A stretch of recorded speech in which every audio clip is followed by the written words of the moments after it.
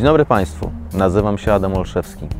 W dniu 21 października będę kandydował na radnego do Rady Miasta w okręgu numer 1 z listy koalicji samorządowej, pozycja numer 3. Urodziłem się w Ciechanowie i od 38 lat jestem jego mieszkańcem. Moim największym osiągnięciem i dumą są moi synowie.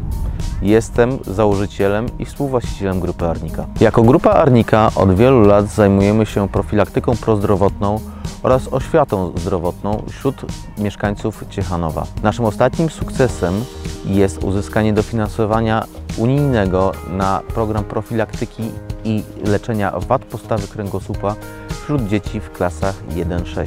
Jako przyszły radny chciałbym skupić się na działaniach wokół zdrowia, bezpieczeństwa, środowiska i gospodarki, co jest najbardziej potrzebne dla naszego miasta. Na zakończenie chciałbym Państwa zaprosić do udziału w wyborach samorządowych 21 października.